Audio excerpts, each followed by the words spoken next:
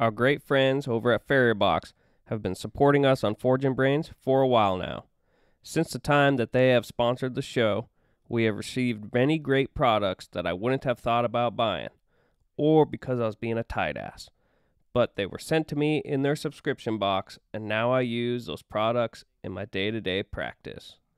Each box is sent bi monthly, and in those boxes is an array of the top tools and products that have been tested by the greats in our industry. So go to www.farrierbox.com and use code BRAINS for 25% off your first month's order. You won't be disappointed, I'll tell you that. What's up, folks? I'm here in my kitchen. Before the episode here, I wanted to talk about kind of what it's about. While we were in Fort Worth at the WCB, we thought it'd be kind of cool to sit around or like jump in with some of the novice competitors and see what their reactions were to competing in the novice class and kind of like what they learned from it and uh, if they would be interested in going again to uh, moving up in the divisions or whatever the categories. It's going from novice to category one. So this episode's a couple novice competitors that have uh, either been going through the season all 2023 in the novice class and are going to be going up to category one next year or some of them, this is their first time competing in the novice as well. So hope you guys enjoy this episode. Let's get into it. All right, what is your name? How long have you been shoeing horses? Uh, Tim Hawley. I've been shoeing horses going on six years. Nice. Is this your first time competing at a WCB? It's my second time. Nice. What did you expect your first time doing? Oof. I expect to get some education out of it. There's no doubt about that. And just learning the system, how the WCB operates. It was like really intimidating, like utilizing a striker because I didn't really have that to practice with. Mhm. So that taught me kind of like not be timid. Like I need more heat here, don't hit here, things like that, you know. So it taught me a ton. You know, it really helped me come here. Right. Did you, was it different when you got here than from what you kind of expected though? For like the first contest, Yeah, like first contest and even just like the group. yeah, I mean, there's definitely a lot more camaraderie than than I thought. Like from like an outsider's perspective, I could see how somebody could get intimidated coming to one of these. But like everybody's rooting for everybody. Yeah. You know, you see guys in the same category striking and rushing for people. I mean, it's not about like kicking somebody else down. You know, trying Yeah. to bring everybody up. And I think that's sweet. You know? That's what a lot of people kind of think from the outside. They Yeah. just think it's just a, like a bunch of chest beating and Yeah, yeah, a bunch of gorillas. You know? Yeah. Everybody's giving each other a good go. Yeah, Every yeah, time. yeah. I'm rooting. I mean, like the guys in the novice division, like it's like like Trey, Trey's kicking ass, and like I felt bad like during his match play, he didn't have anybody like strike for him. Not that like I'm a fire guy by any means, but I was like, can I step in? And Yeah. you know, I asked Daniel Jones, he was like, yeah. So I'm rooting for Trey just as much as I'm rooting for anybody else. That's awesome, man. Uh, what did you do to prepare? Um, I practiced to the best of my abilities. Um, tooled up was a big thing. Okay. like Wisconsin, um, I wrecked a lot of shit. so I learned real quick that like getting my punches heat treated and more specifically just tuned up yeah. Was like probably my biggest enemy. Um, Okay. Was there somebody you were able to help you with tuning yeah, them up? yeah. So Dick Becker, Okay. yeah, Yeah. Dick Dick's my guy. I, I worked with him for quite some time after shooting school. Nice. So he knows like when a contest is coming up, you know, I'm like at his shop like two days before, and he's like, Getting ready. okay, like don't wreck this one right off the go, right? Yeah, this is your good. One. this is the good your one. Yeah. So like those are like I was gonna ask you any like hurdles for practice. Do you think tooling was the biggest hurdle? uh, tooling, and then like uh, like I don't have a coke fire at home yet. Okay. Uh, it's just a Forge Master, so like figuring out heats is is kind of tough. Um, and then uh, I think I need to like step out of like my comfort zone and, and, and maybe do some more traveling to practice. Yeah. Because like it's real easy to like make a banger in the shop when it's just you. But then, like when you step up and there's a little bit of pressure, but also a little bit of guidance, it changes a lot. Do you start a clock when you're practicing at home, or Yeah, and I try. I, I try to drop f- at least five minutes Yep. on my time. Like we had hour goes, Yep. you know, so I try to set the timer for for 55 minutes because like I figure if I can get it in 55 minutes, 60 would be no problem. 60 shouldn't be an issue. But then also like your heats are quicker in the coke fire, and then you also have somebody to strike your fuller and stuff like that. Are you able to practice any two man? We haven't. We haven't. Um, but like Dan Brown is, is close, and uh, I think we're gonna make a pretty big commitment to next year. Good. So that will be, you know, more of him and I practicing two man goes. Is it hard when you come here and you haven't practiced with a striker, and then you're paired up with a striker, and all of a sudden now your system's a little different because you have somebody? Uh, I think it's hard if you don't know the guy, to be honest with you. And I think that's where like the timidness comes from. Yeah. You know, because I mean, you don't want to show your ass. yeah. I mean, ultimately, like that's probably what you should do, Yeah. right? I think that's a I think that's a common thing with the novices is that they're like, okay, this guy is better than me, my Yeah. strikers. You try Yeah. and choose the strikers better Yeah, than you. for sure. And then you're like, well, I want his advice, but then you're kind of like, all he's he kind of takes it like this guy don't have a plan. Right. There's a self consciousness. There is, Yeah. for sure, for sure. That's like I got real lucky. Like Dan came to the contest, and you know I can tell Dan to kick rocks and not feel bad about it. Yep. You know, versus like if Daniel Jones is striking for me, I, my nerves would definitely be I'd be racked. yeah. You know, there's a totally different like mindset. So, I mean, I don't know how somebody would overcome that if they didn't have. I guess just toughen it up. I guess. doing it. Yeah, just doing Do it. it, man. Gotta do Did it. you have any uh, changes from day one to day two? Big time. Big time. So I felt like I had a pretty good go yesterday. Like I was really happy with my shapes and like it forged, it wasn't chunky. But like after the fact somehow I don't know how I did it, but my toenails were real racked. Like my medial was way up Mhm. and that put me way down the table. So then I'm like, I don't know how I did it, so I don't want to like try to fix too much or change too much and then make something else worse. Yeah. So today, I uh, I pretty much knocked the shoes completely around, and then once I got like my shape where I wanted, I went through and just T squared everything. Yeah. And I mean, like I lucked out. Um, I placed really well today Good. versus yesterday, and just that little bit of change. And it's a fairly easy change in my Easy change, and it seems little, but it is the line. Yeah, big time. That's that's the box. The Yeah. First line of the box. where Yeah. toenails are. Yeah, I was sitting good until Jerry Schwaneville got done.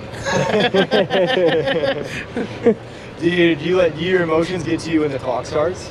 Um, I I do at first. I think. Um, I really did in Wisconsin. Like so, like Madison was my first go. I didn't make it to Edgewood and then here. Um, I remember like trying to like mark my fullering and my elbows just like Yeah. Chicken wing. yeah, you're like you're scratching a dog behind the ear, you know. Um, but like I said, having Dan here, I know it's like he's my buddy. Yeah. You know, I don't know where the the disconnect is, but it definitely helped. It settled me down a ton. So, So are you happy with your results? yeah, yeah, I know where I need to improve. Um, That's huge. There's there's uh, I think there's a little bit of difference that I didn't really recognize between judges, like what Mike was looking for in Madison. Um, I can't enunciate the judges' names, so I'll just say the judges that we have here today. Yeah. Frenchman. Frenchmen. Yeah. You know, I like I heard Carl's gonna judge Madison, so when we get to Madison, I'm definitely gonna ask him some more specific questions, like, are you looking for the specimen, or are you looking for a shape? You know, Mhm. things like that. So, Uh, which things are gonna be dictate? yeah, So are you gonna do another novice or are you gonna go to the cast? yeah. So, I think I'll do one more novice. Um, I don't know if that's like the right direction for me. There's no right, right. But. I, I, I, definitely think I'll take one more novice if I can. Nice. Because like seeing like it's such a big step. I mean, Yeah. at least it is in my perspective. It is a big step. You know, um, that if I can get a little bit more experience just using a striker in this setting Yeah. before I step up to like some really difficult shoes, I think that'll benefit me. Yeah. You know, and it'll get rid of like what little bit of like nervousness I think I have left for working out of the coke fire and being here. For sure. Definitely. So, awesome, man. Yeah. Well, thanks very much. I appreciate it. Thanks for for having time with Thank us. you, Tim. Thank you. Thank you, Gab. Yeah. Let's talk about our newest sponsor of Forging Brains podcast, Yukon Forge. If you're a fan of the show, then you probably already heard the interview we did with John McNerney and all the badass things he's accomplished in his career, as well as the type of character this man has. John's graciously offering you guys 10% off on anything you order when you go to www.yukonforge.com and use code BRAINS at checkout. On his website, you'll find he has a variety of high quality, hand built tools made by him personally. His hoof knives are some of the best on the market. All his tongs are forged from 4140 steel to hold up to whatever you're grabbing and holding. John's been developing a new hammer out of 4140 steel that looks pretty dang sick, and I can't wait to try one. His fullers are handmade from S7, and I personally know of some that have withstood the years of hammer blows. Also, a new and unique tool John has developed is the propane nut. There's nothing worse than stripping out your propane regulator from not having the right tool. The Yukon Forge propane nut relate, replaces whatever you had been using for a simple tool that you can tighten and loosen with your fingertips with ease. So go to www.yukonforge.com and use code BRAINS for 10% off your order. That's a hell of a deal, my friends. Later it. Sweet. All right, what is your name? Uh, Tanner Nolan. How long have you been shooting for, Tanner? Uh, about 10 years. Okay. Uh, is this your first time competing in the WCB? Uh, third, this is my last novice. Okay, sweet. Man. What did you expect your first time you came? Oh, I don't. That's tough. Um, probably learn a lot because I was just getting into shoe building. Okay. What were you wanting to learn? Just learn a system and learn how to forge up section. That was something that I didn't know, but was overhearing people say. Yeah. Just like basic shoemaking, yeah, just basic shoemaking. Basic, yeah. What did you kind of do to prepare for it? Uh, for the first time, not much. I've built several at home, but didn't know what I was doing. What did you do to prepare for this one? Practice a ton. Did you? Yeah, metric ton. How much, like, was it hard to try to, like, figure out a time frame to get it to practice in? I, I mostly didn't do time frames at home. I just tried to build nice shoes. And then, like a week ago, I timed it by myself, but I didn't use this striker. And that's something that's a total new element to run your tools different-handed. Yeah. Is it weird the first when you come to the contest and you practice only by yourself and you come to work with a striker? Is it weird the first time you're working with a striker? Uh, yeah, I think so. Does it change up your system It much? changes the system, yeah. Yeah. Lose total focus because now you're not running everything. Yeah. I think. The, ne- the next shoe's coming at you as soon as you're done with that one. Yeah, it's fast. Yeah. Did you should do make any changes from day one to day two this weekend? No, not really. You stuck to the plan. Yep. Stuck with the system. Do you do you feel like your emotions get to you at all when you when the clock starts? Oh, huge! Yeah, hitting that center dot right when they say go is tough. Yeah, I don't know why. I mean, I've been under pressure my whole life and other things, but there's something about this that's different. Yeah, it really wakes you up. Yep. Did uh, were you happy with your results? Yeah, yeah, I got to learn a lot. That's what I was here for. A whole lot. So you said this is your third novice. Yep. You're gonna go ahead and run for the cats next Yeah, year. I'm gonna take after that journeyman. I've passed the written here recently, and uh, so now I'm gonna go tackle that horse, and then I'm jumping right in the categories. Nice man. Well, thanks for doing a little interview with us. We appreciate it, man. You bet. Thanks, guys. Good luck. Yeah. Thank you, Tanner. Appreciate it. This episode is also brought to you by our fine sponsor, World Championship Blacksmiths. Ultimately, they are a business, but their model is based upon help each and every one of you find and strive for the goals you set upon yourselves that most of us desperately need. Not only do they provide the competition aspect, they bring a community of people together that will have your back no matter what. So sign up for a contest and work towards those goals that you set for yourself. And you can also use code BRAINS in their online store for 10% off any merchandise. It's not including membership or contest fees. So go to www.worldchampionshipblacksmiths.com and use code BRAINS and buy yourself some merch. Thanks, everyone. All right. What is your name? My name is Trey Hayden. Is this your first first WCB? Uh, no, this would be my third. I went to Madison and then Edgewood, and now here I am. What before you went to your first one? What did you expect them to be like? I expected them to be kind of in, a little intense, a little bit, you know, from like the outsider's perspective, it seems a little inclusive, but yeah, once I got here, it was it was a pretty cool deal.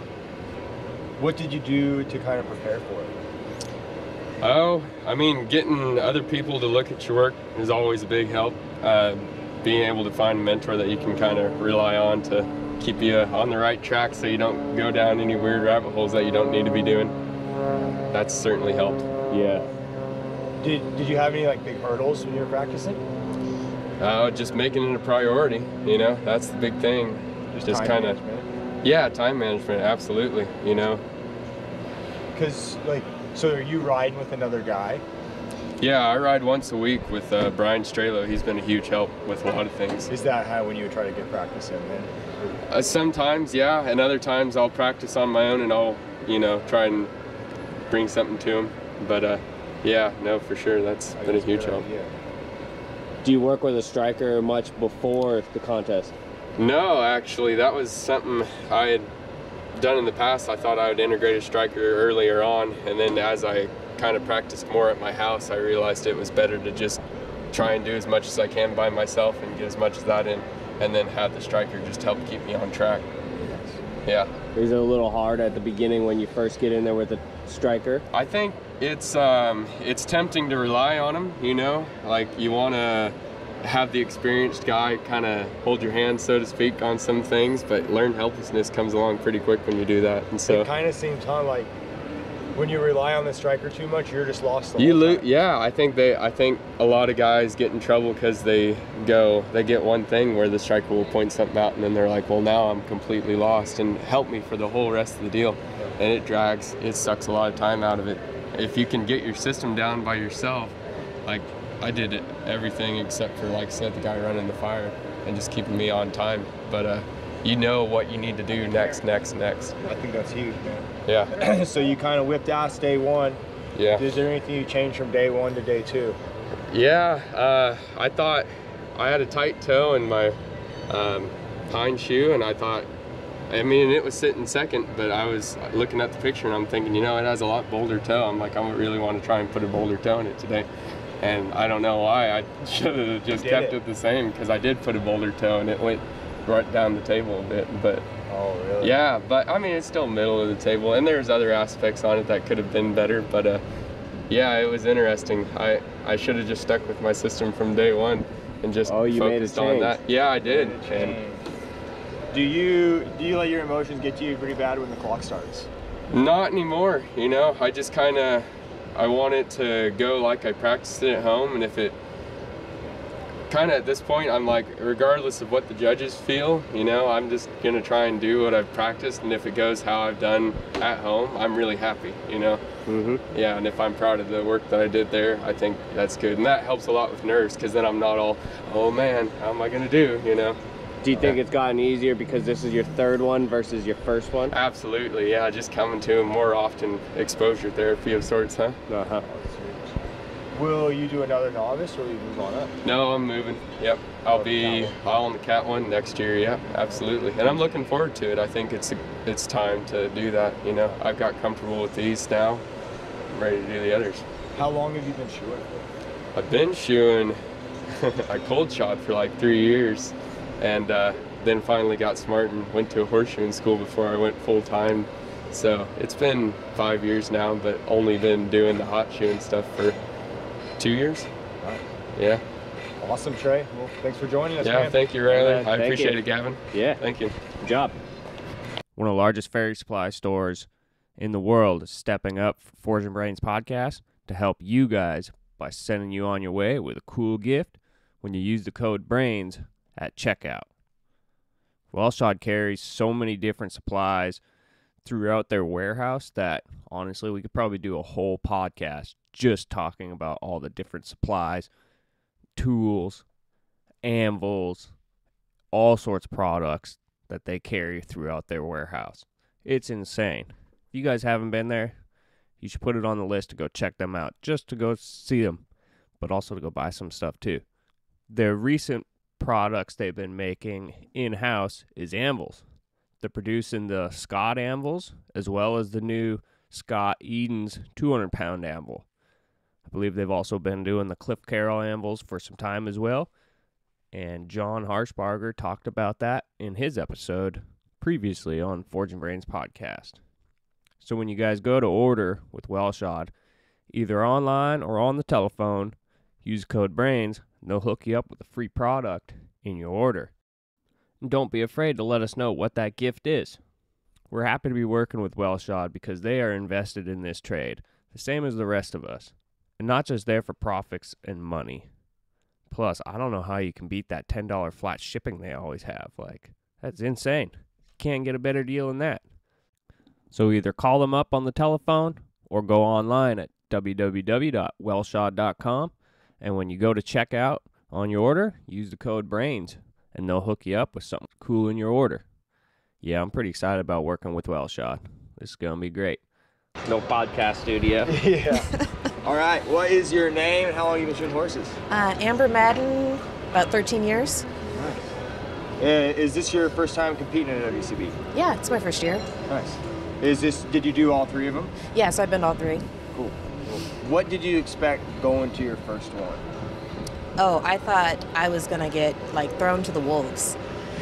Oh, Yeah. really? No, but everyone here is super friendly. But I just figured, okay, fierce competition, um, sharp, harsh learning curves.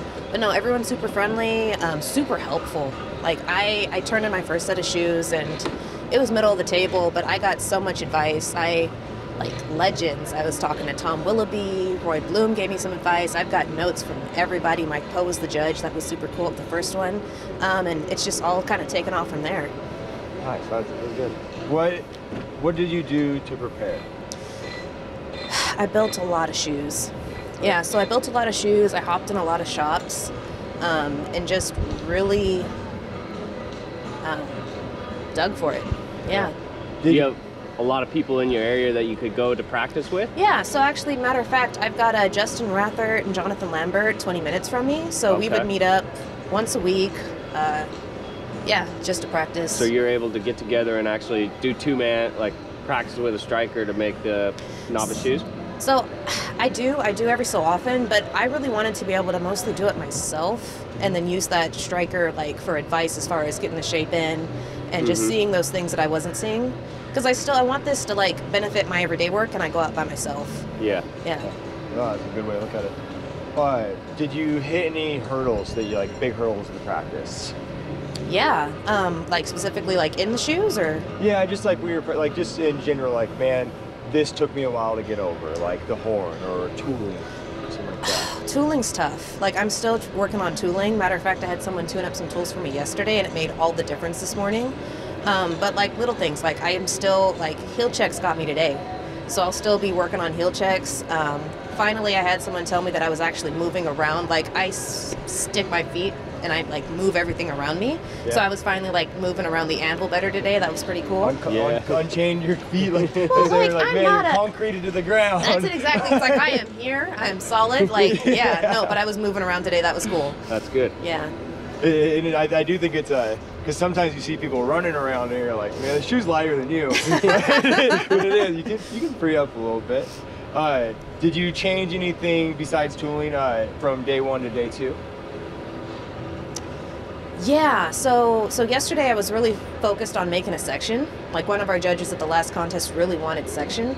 These judges not so much, so I really tried to focus on not drawing out my, my branches as much, and I think that helped my placing some today. Okay, Yeah. that's a good good thing to notice. Yeah, I got to know what your judges want. Yeah, yeah. Do your emotions change or get to you when the clock starts? Uh, my first contest, yeah. I just had no idea how it was going to go. I was excited that today I was pretty well, like, relaxed going into it, and I was able to carry that through. Um, but I have a feeling when I get into the categories, I'm going to be all over the place all over again. So, yeah, emotions will do it. So, were you happy with your, your results from this weekend? Yeah. At one point, yesterday I kind of had a scattered grade run. Today was more smooth and controlled, and I turned those shoes in and walked away like, you know what? I don't care how it plays. that felt better. It was way more conscious. I was yeah, I was happier with that. Nice. Do you? So you've done your three novices. You're gonna go ahead and step up to the cats. Yeah, of course. I Awesome. know. Yeah, it'll be fun. I'm not ready for it, but it'll be fine. Yeah. No one. Yeah. Never ready for anything in life. Yeah, just got to get in there and do it. Yeah. Essentially. Yeah. Thank you a bunch, Amber, Yeah. for doing this uh, little Yeah. interview and for coming out. Yeah, no problem. Thanks for having me. Yeah. It's been fun. Good luck in the future. Thank you. Great. I want to take a moment to tell you guys about Wellshod. And not just that they carry every item you can think of from every brand, including from the little guys, you can get some Adam Farr punches, some Ben Sneer hammers. They pretty much got it all in the hard to beat $10 shipping. But I also want to take a moment to talk about John himself. You see the Wellshod name at pretty much every single contest that you go to. And not only that, you see John himself there supporting what we do and investing his time. Heck, John's even jumped in the competition his ring himself at some of the WCB contests. That speaks huge to me. And it also speaks huge that John wanted to support what we're doing with the podcast. They've agreed that if you guys use brains at checkout, they're going to put a little mystery item in the box for you. So go ahead and support them, what they're doing, and it helps support us. Because in all, we're all just one community. All right, what is your name and how long you been shooting horses? Uh, my name's Jason Fleming. I've been shooting horses about 20 years. Nice.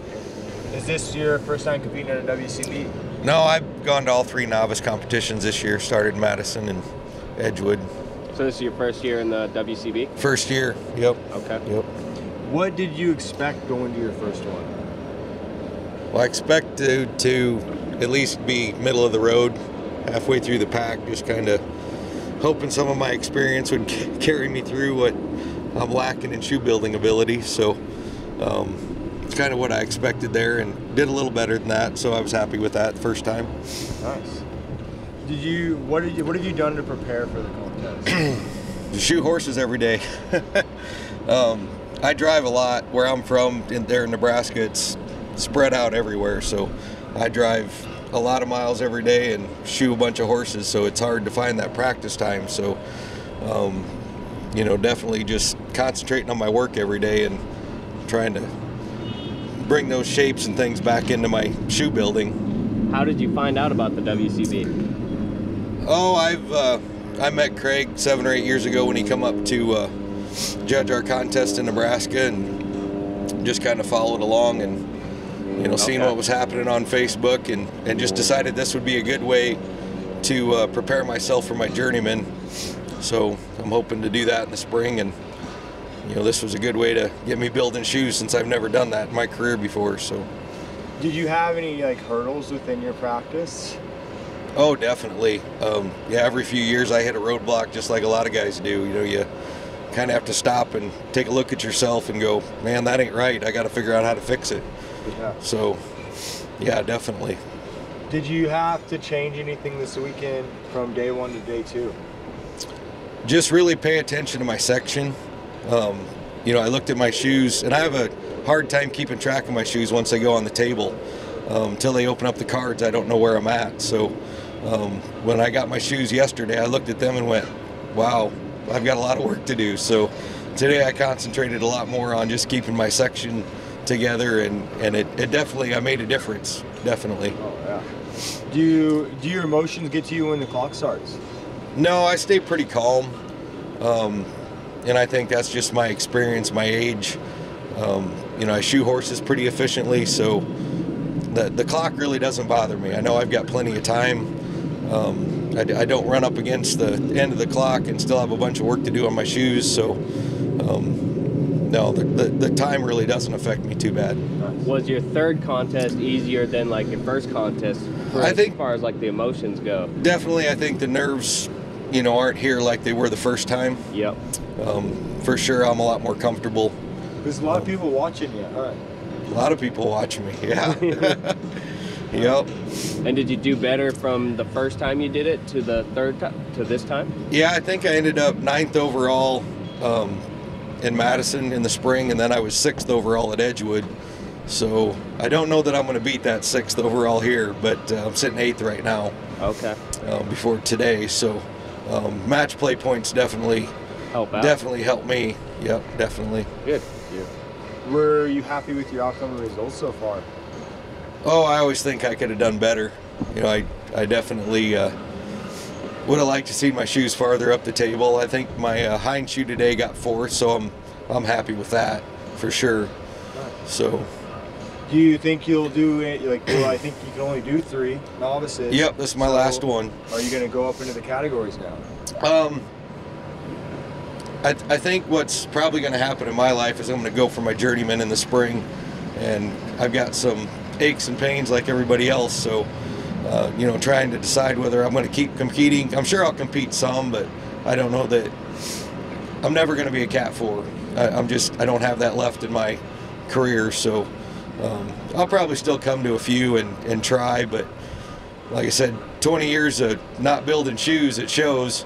And I've got a long ways to go to be able to compete with a lot of these guys. So, Has it been hard to break any old habits? oh, definitely. After shoeing for 20 definitely. years. Yeah, I, I make a lot of mistakes, and uh, my strikers, they're like, stop doing that. And I'm, I know, I know. I wish I could. exactly.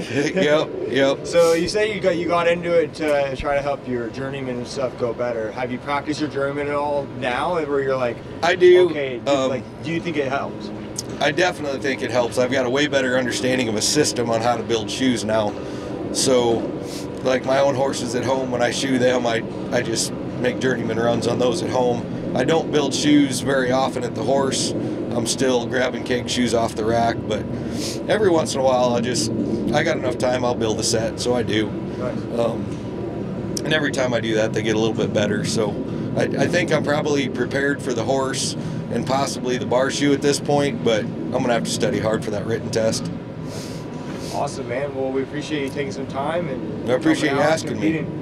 Good luck on your journey, man. Yeah, thank you. Yeah, thank you, Jason. Our great friends over at Farrier Box have been supporting us on Forging Brains for a while now. Since the time that they have sponsored the show, we have received many great products that I wouldn't have thought about buying, or because I was being a tight ass. But they were sent to me in their subscription box, and now I use those products in my day to day practice. Each box is sent bi monthly, and in those boxes is an array of the top tools and products that have been tested by the greats in our industry. So go to www.farrierbox.com and use code BRAINS for 25% off your first month's order. You won't be disappointed, tell you that. Let's talk about our newest sponsor of Forging Brains podcast, Yukon Forge. If you're a fan of the show, then you probably already heard the interview we did with John McNerney and all the badass things he's accomplished in his career, as well as the type of ch- character this man has. John's graciously offering you guys 10% off on anything you order when you go to www.yukonforge.com and use code BRAINS at checkout. On his website, you'll find he has a variety of high quality, hand built tools made by him personally. His hoof knives are some of the best on the market. All his tongs are forged from 4140 steel to hold up to whatever you're grabbing and holding. John's been developing a new hammer out of 4140 steel that looks pretty dang sick, and I can't wait to try one. His fullers are handmade from S7, and I personally know of some that have withstood the years of hammer blows. Also, a new and unique tool John has developed is the propane nut. There's nothing worse than stripping out your propane regulator from not having the right tool. The Yukon Forge propane nut relate, replaces whatever you had been using for a simple tool that you can tighten and loosen with your fingertips with ease. So go to www.yukonforge.com and use code BRAINS for 10% off your order. That's a hell of a deal, my friends. This episode is also brought to you by our fine sponsor, World Championship Blacksmiths. Ultimately, they are a business, but their model is based upon help each and every one of you find and strive for the goals you set upon yourselves that most of us desperately need. Not only do they provide the competition aspect, they bring a community of people together that will have your back no matter what. So sign up for a contest and work towards those goals that you set for yourself. And you can also use code BRAINS in their online store for 10% off any merchandise. It's not including membership or contest fees. So go to worldchampionshipblacksmiths.com and use code BRAINS and buy yourself some merch. Thanks, everyone. I want to take a moment to tell you guys about Wellshod.